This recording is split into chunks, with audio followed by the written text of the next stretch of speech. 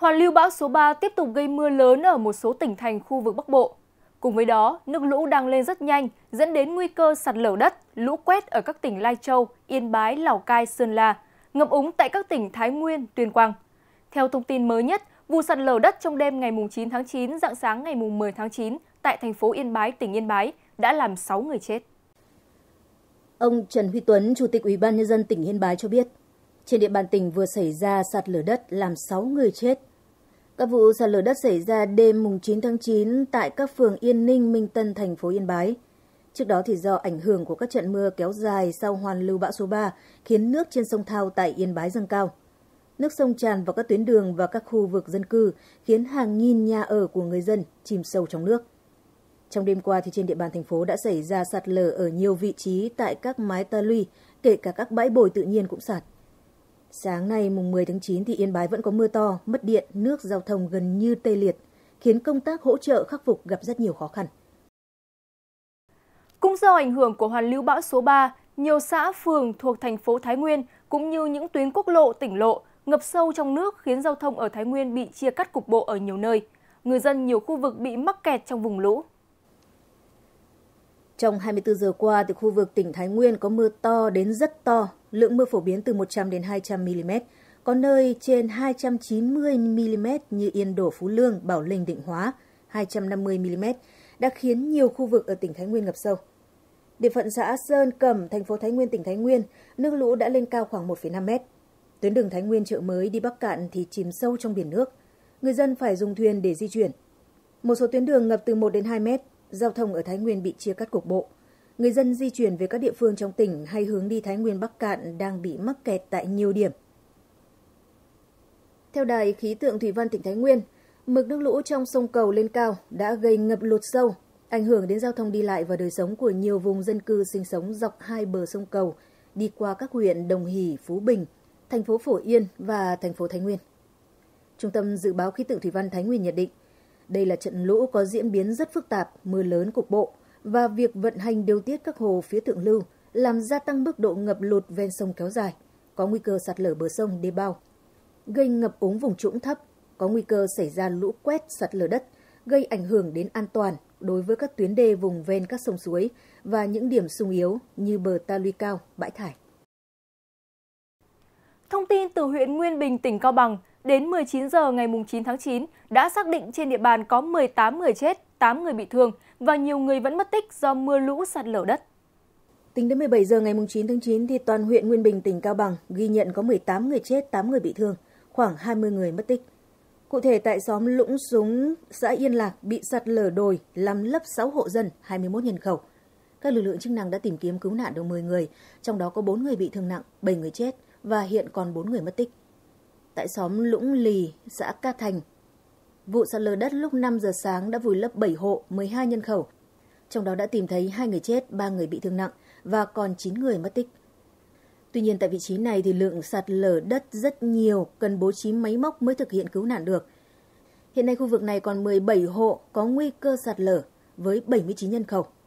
Địa phương đã vận động 17 hộ có nguy cơ sạt lở di chuyển đến nơi ở an toàn. Tại xóm Lũng Kèng, xã Vũ Minh, khoảng 11 giờ 15 thì người dân phát hiện và ngăn không cho ông P, trú tại xóm Lũng Kèng, xã Vũ Minh đi qua đường xóm, vùng ngập nước sâu để về nhà. Tuy nhiên, ông không nghe theo, vẫn đi qua dẫn đến trượt chân và mất tích. Các lực lượng tại chỗ đã triển khai tìm kiếm, tuy nhiên đến nay vẫn chưa tìm thấy.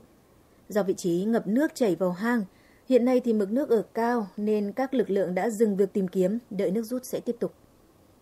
Còn với sự cố nghiêm trọng xảy ra lúc 5 giờ 45 phút tại km 180 cộng 680, quốc lộ 34 thuộc xóm Khuẩy Ngoạ, xã Ca Thành. Lực lượng cứu hộ cho biết, thời điểm này đã xảy ra vụ sạt lở ta luy dương đã khiến ô tô khách chưa rõ người điều khiển và một ô tô con đi từ Bảo Lạc Nguyên Bình rơi xuống vực suối. Xe khách trôi khoảng 800 mét, còn xe ô tô con trôi khoảng 2,8 km so với vị trí sạt lở. Lực lượng tại chỗ đã tìm được 7 người chết gồm 3 nam 4 nữ và có 4 người chưa xác định được danh tính. Một người bị thương và nhiều người mất tích. Ngoài ra thì lực lượng chức năng cho biết, một xe ô tô con gồm 4 người đi qua tuyến đường này nhưng hiện không liên lạc được, nghi bị vùi lấp tại khu vực khuổi ngọa.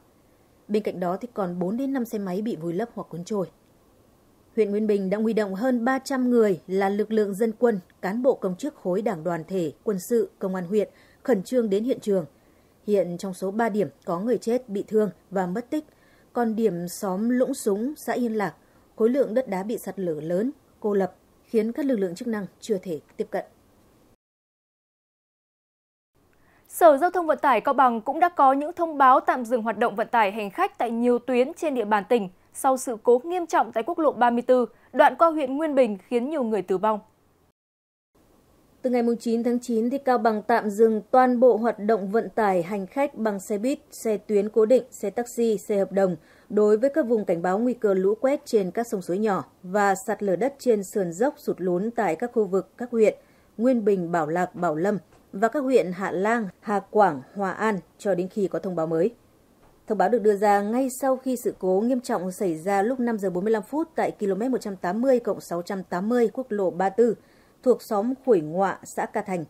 Một vụ sạt lở đất đã đẩy ô tô khách, một xe ô tô con cùng nhiều xe máy đang lưu thông xuống suối. Hiện lực lượng cứu hộ đã tìm được 7 người chết, một người bị thương và vẫn còn nhiều người mất tích. Khuya ngày 9 tháng 9, dạng sáng ngày 10 tháng 9, nước sông Hồng ở Hà Nội dâng cao, gây ngập lụt ở nhiều khu vực gần sông. Do nước sông Hồng dâng nhanh trong đêm, khiến nhiều người Hà Nội không kịp trở tay, cư dân sống ven sông phải chạy lụt trong đêm. Nước ngập nhanh vào buổi tối khiến người dân không kịp trở tay, đồ đạc trong nhà ướt hết, cuộc sống bị đảo lộn hoàn toàn. Các xóm dân cư ven sông Hồng đoạn qua quận Hoàn Kiếm Ba Đình vội vã chuyển đồ di rời trong đêm. Cùng với đó, thì Sở Giao thông Vận tải Hà Nội đã ra thông báo hạn chế các phương tiện lưu thông trên cầu Trương Dương để đảm bảo an toàn. Theo Sở Giao thông Vận tải Hà Nội, thì ảnh hưởng của cơn bão số 3 bão Yagi, các nhà máy thủy điện đang xả lũ dẫn đến mực nước sông Hồng dâng cao, dòng chảy xiết ảnh hưởng đến kết cấu hạ tầng công trình cầu. Cụ thể thì hướng đi từ Hoàn Kiếm đi Long Biên, cấm các phương tiện xe khách, xe hợp đồng, xe du lịch trên 9 chỗ, cấm xe tải có tải trọng trên 0,5 tấn, xe buýt được hoạt động.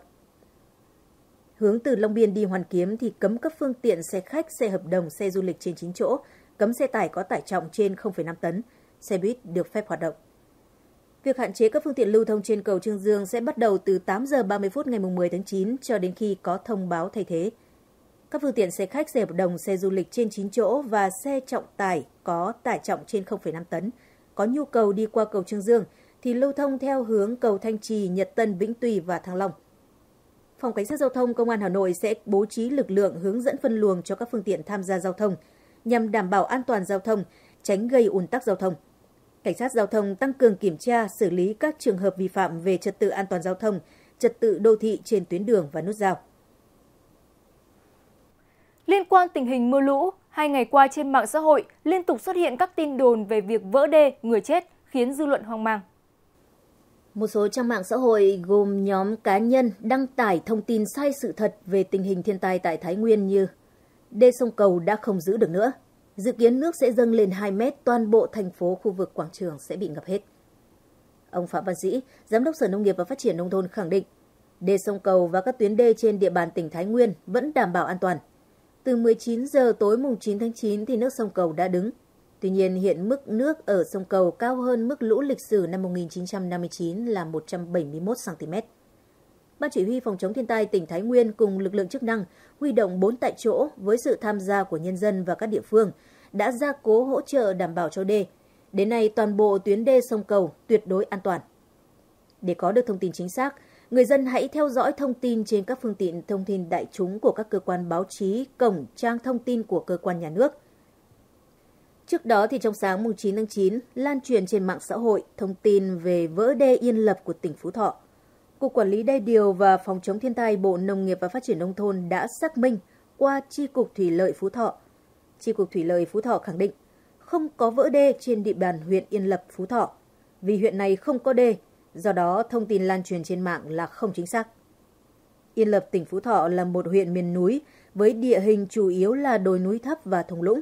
Do vậy, khu vực này không có nhiều sông lớn hay hệ thống đề phòng lũ như các khu vực đồng bằng. Tuy nhiên, huyện vẫn có các biện pháp phòng chống lũ lụt và sạt lở ở các khu vực ven sông suối và đồi núi nhằm bảo vệ đời sống người dân, nhất là vào mùa mưa. Cũng trong sáng mùng 9 tháng 9, thì ngoài thông tin vỡ đê huyện Yên Lập Phú Thọ không đúng sự thật, thì còn có thông tin vỡ đê trên địa bàn huyện Tiên Yên, tỉnh Quảng Ninh cũng không chính xác. Về thông tin vỡ đê ở Tiên Yên, Quảng Ninh thì theo thông tin từ Ban Chỉ huy Phòng chống thiên tai và tìm kiếm cứu nạn tỉnh Quảng Ninh, do ảnh hưởng của hoàn lưu bão số 3, trên địa bàn huyện Tiên Yên đã có mưa. Tổng lượng mưa từ ngày 6 đến thời điểm 9 giờ ngày 9 tháng 9 là 166,8 mm, số liệu do Đài Khí tượng Thủy văn tỉnh Quảng Ninh cung cấp. Do mưa thì phần đập đất của công trình thủy lợi Hà Thanh, xã Đông Hải bị vỡ khoảng 50 mét. Nước từ công trình đã ảnh hưởng đến khoảng 400 hộ dân thuộc ba thôn Hà Tràng Đông, Hà Tràng Tây, Ná Bắc. Mực nước ngập từ 1 đến 1,5 mét. Ủy ban nhân dân huyện Tiên Yên đã di rời các hộ dân bị ảnh hưởng về nơi an toàn từ sáng ngày 9 tháng 9 và không có thiệt hại về người. Công trình này không phải hồ chứa, chỉ là đập dâng trên sông nên lượng nước trữ không nhiều. Hiện nước đang rút dần, tuy nhiên vẫn chưa tiếp cận được vị trí sự cố. Đoàn công tác của Sở Nông nghiệp và Phát triển Nông thôn đã có mặt tại hiện trường và đang đợi nước rút để tiếp cận khu vực sự cố. Cục Quản lý Đê điều và Phòng chống thiên tai cũng nhấn mạnh, hiện nay có rất nhiều thông tin về tình hình mưa lũ ngập lụt sạt lở sau bão, đề nghị người dân theo dõi thông tin có chọn lọc từ các kênh thông tin chính thống. Bộ Công an cũng đã chỉ đạo Cục An ninh mạng và Phòng chống tội phạm sử dụng công nghệ cao xử lý nghiêm những cá nhân tổ chức đưa tin không chính xác làm ảnh hưởng đến công tác phòng chống bão mưa lũ.